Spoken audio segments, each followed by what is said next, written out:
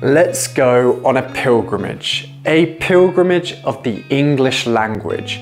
If you go on a pilgrimage, it means you go on a journey to somewhere that is considered special. To understand more about the English language, we must go on a pilgrimage to England in the 14th century.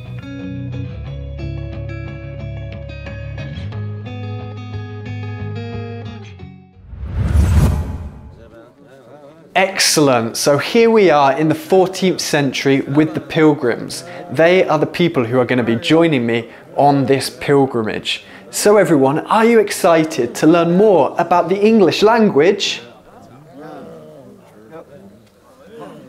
Oops, I forgot that in the 14th century, English was very different. The pilgrims speak Middle English. It's very different to the modern English we speak today. They don't understand me. In the 14th century, English wasn't the international language that we know today. It was only a spoken language used by ordinary people in England. French and Latin were the academic languages used in literature, and it would have been very unusual to find a book written in English. However, in the 14th century, a story about a pilgrimage changed everything. Geoffrey Chaucer is our guide and he's going to show us the way.